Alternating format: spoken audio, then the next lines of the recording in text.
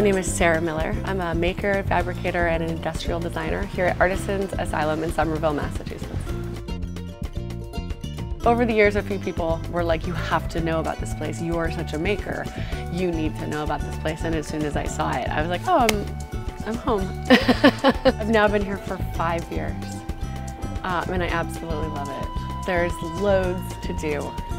Um, there are 14 different shops and people of all different um, ranges of hobby can come and make to their heart's content.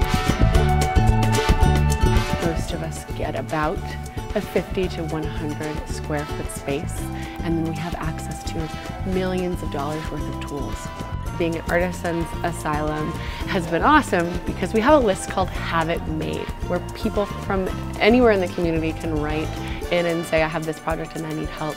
And somebody most recently wrote and said, um, I'm designing the body of a car. I need a fabricator.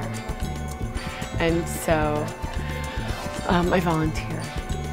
And so now we're working on um, the body, fabricating the body of an electric car.